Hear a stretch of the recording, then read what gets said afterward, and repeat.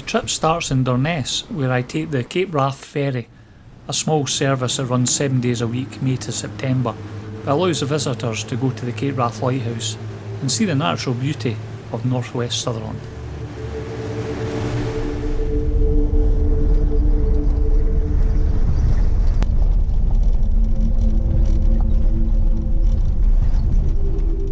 The Cape Wrath Lighthouse sits on the most northwesterly point of the UK mainland and was built in 1828 by Robert Stevenson and was actually manned until 1998. So welcome to the Cape Wrath Lighthouse and the Ozone Cafe. I was just in there having a can of coke and there was a group of guys here that have just finished the Cape Wrath Trail and they were just getting a lift back down towards the ferry. The guy that owns the cafe here or runs it has been kind enough to run or shuttle people down to the ferry because the bus isn't running. But this is a start for me. I'm actually doing it in reverse. I'm going to start here and finish in Fort William, or that's the plan. Yeah, I'll bash on, see how far I can get. Uh, yeah, just play it by ear as always. But what an amazing place. Really, really remote. But yeah, what an adventure.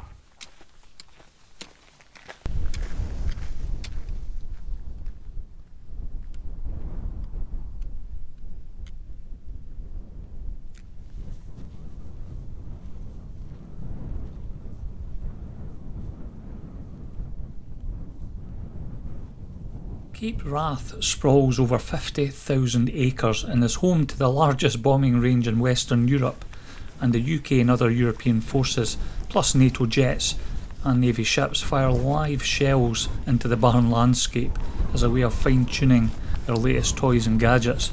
So please do ensure that the bombing range isn't active before you decide to cross. Well, that's me done about four and a half miles, and I am pooped already. Uh, yeah, that's a bit of a slog, and I've still another big bit of hill to go over to get to Sandwood Bay. It's yeah, it's blowing a hoolie, but it's still warm. It's a nice breeze and beautiful views out to sea.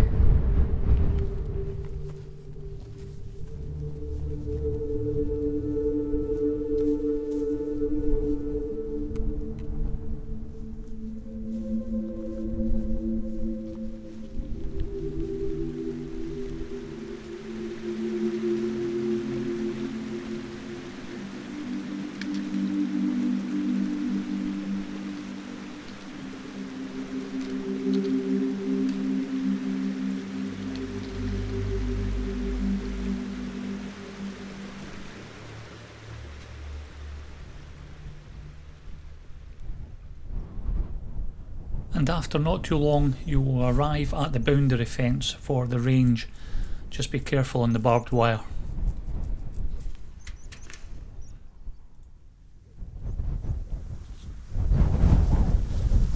That's me just crossed out of the firing range and heading to Sandwood Bay.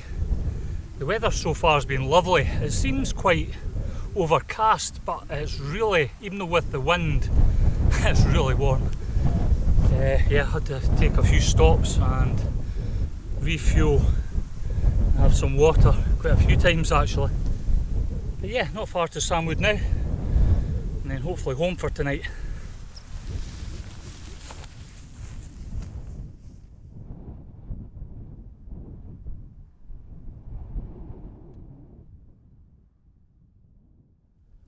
I just passed a gent, I could see him in the distance heading towards the lighthouse we kind of passed like ships in the night just opposite each other.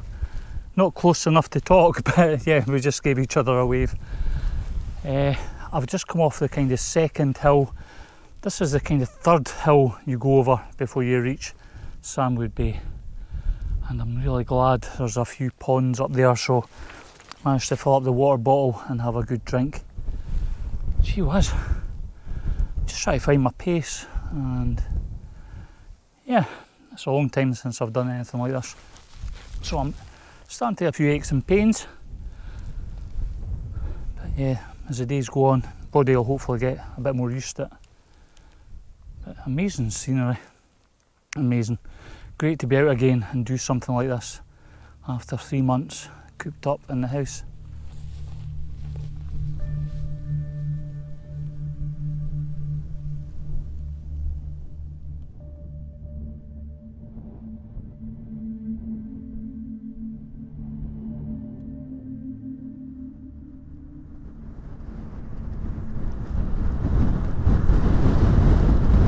Well, there's a sight for sore eyes.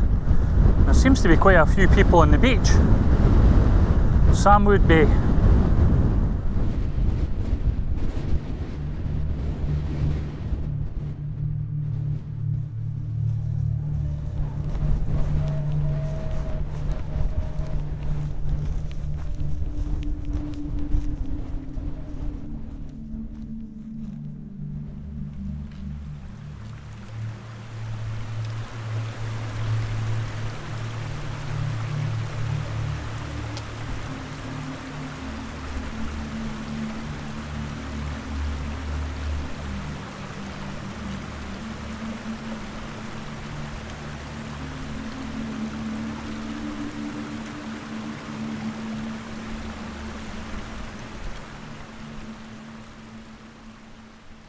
As I started to make my way down to sea level and uh, the wind died down, the midges were making an appearance, and it wasn't long before I had to get my midget hood on.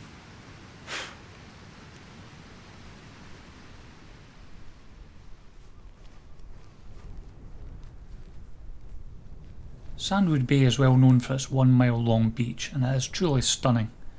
And it's believed that the Vikings used to bring their longboats up across the sands and into Sandwood Loch, and there's also remains of Pictish settlements in the area.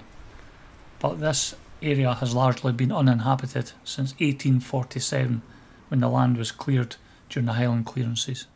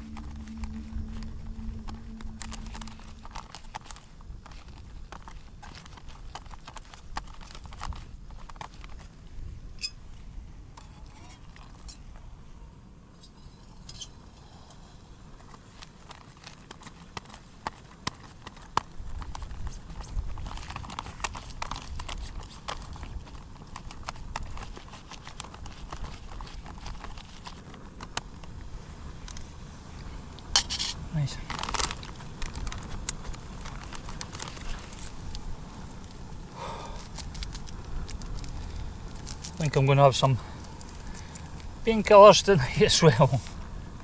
Yeah, I could do with some painkillers. Maybe ibuprofen.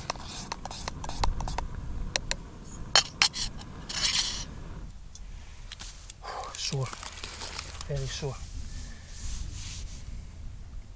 Something else I brought, which I'll show one night, is uh, one of these, and it's uh, about 160 grams. It's a muscle roller to try and ease aches and pains.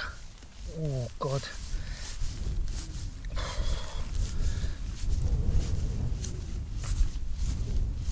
Yeah. And I might do a bit of this later. Just try and ease off the muscles. It's more my calves. Oh, that's sore. I don't know why I get such sore calves. Oh, right there. Oh, Jesus.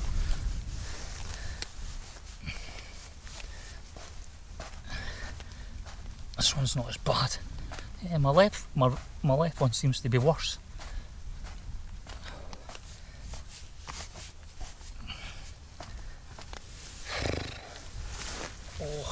I'll give that a going over later. A good going over.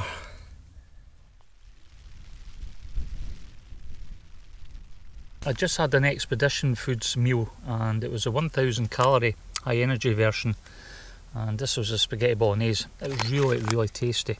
Now I bought a different flavour for each night of the trip and after all, after it's all over I'll probably do a review of all the different flavours and let you know which one was my favourite. But this is actually quite good. I'm looking forward to trying the chicken tikka and there's also a chicken korma. That should be really really good. Now the company I bought them from online, I'll put the link down below. They gave me a small discount, nothing to set the heather alight, but every little helps because this kind of stuff's not cheap. Yeah, maybe try one yourself. But yeah, I've enjoyed that, really filling. Uh, you could probably, I'd probably do two people to be honest. So that's it, I'm going to have my coffee, get my admin together.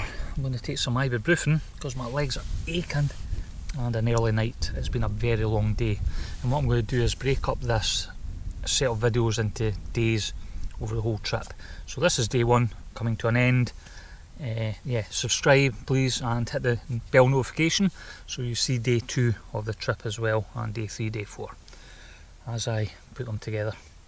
But this is end of day one cracking walk up from the lighthouse and yeah well it had its moments it had its moments and it's a rough a rough bit of trail. But that's that's for the end of part one. I hope you've enjoyed it as I said. Stay tuned for part two and I shall speak to you all again very soon